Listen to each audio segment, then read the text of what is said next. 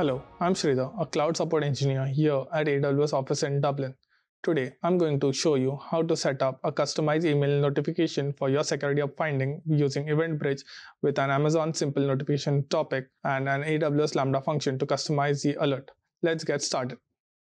Part A Create an SNS topic and an email subscription.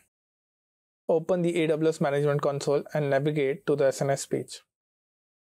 Expand the Options menu on the left corner of the page and then choose Topics. On the Topics page, choose Create Topic. By default, the console has FIFO type selected. However, for this demonstration, let's choose the standard topic type. Next, enter name for your topic. Scroll to the end of the form and then choose Create Topic. From the created topic, choose Create Subscription. For protocol, choose email. For endpoint, enter the email address where you want to receive the SNS notifications. Choose create subscription. You must confirm the subscription in the confirmation email that's sent to the subscriber. After you confirm the subscription, its status changes from pending confirmation status to confirmed. Part B. Let's create a Lambda function to customize the Security Hub notifications. Navigate to the Lambda console. Choose Create Function. Select Author from Scratch. Next, enter a name for your function. For runtime, select Python 3.12. For architecture, let it be x86-64. Expand Change Default Execution Role. Select Create a new role from AWS Policy Templates.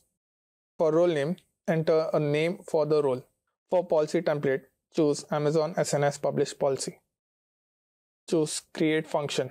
After the function is created, paste the following code in the code source section. Note, the preceding code customizes and reformats Security Hub alert messages. Replace topic ARN with your topic ARN. To save the function, choose deploy. Part C. Now let's navigate to the EventBridge console. Expand the three horizontal lines menu and choose rules. Select Create Role. Enter name for your role. You can optionally enter a description. Keep everything else set to the default settings and then choose Next. Keep everything else set to the default settings and scroll down to the event pattern. For AWS service, select Security Hub. For event type, select All Events. Choose Next.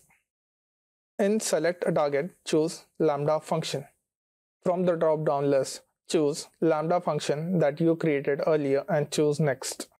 Choose next and then create rule.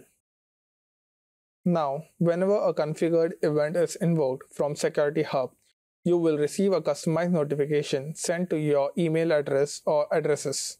So now you know how to set up customized email notification for your Security Hub findings using EventBridge with an SNS topic.